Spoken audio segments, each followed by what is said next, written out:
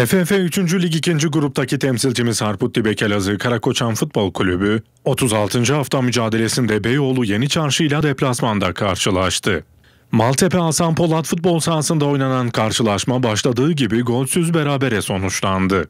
Mavi Beyazlılar alınan bu sonuçla puanını 40 yapıp 11. sıradaki yerlerini korudular. Harput Dibek Elazığ Karakoçan Futbol Kulübü 37. hafta mücadelesinde 1 Mayıs pazar günü kendi sahasında Kuşadası Spor'la karşılaşacak.